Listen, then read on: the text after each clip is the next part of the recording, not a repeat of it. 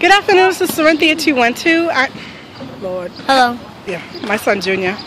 Uh, stop, Junior. Okay, so we just finished exercising. Uh, uh, my daughter and I.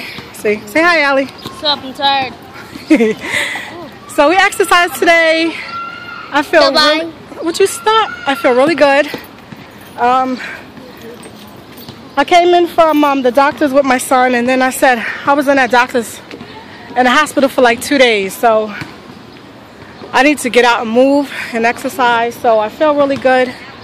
We did a little over an hour, and it is super duper hot. It is about 91 degrees in um, in New York, so we are exhausted. So I'm so proud uh, that we both got it in.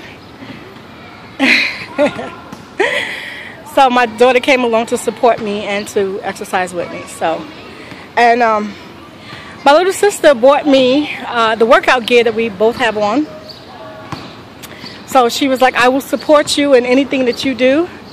And she's really proud of me that I've lost so much weight.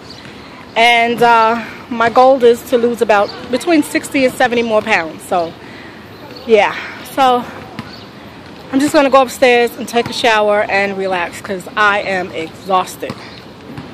So, uh, that's it. I had a good good time. Good time exercising. I feel amazing.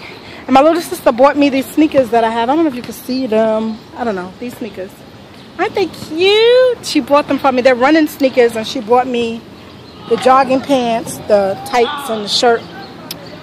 So, really, really happy about that. So I will talk to you all later. Everyone have a beautiful and blessed day and say good morning, good afternoon, good evening, good night to someone with a smile. It would definitely brighten their day. So I'll talk to everybody tomorrow. Bye.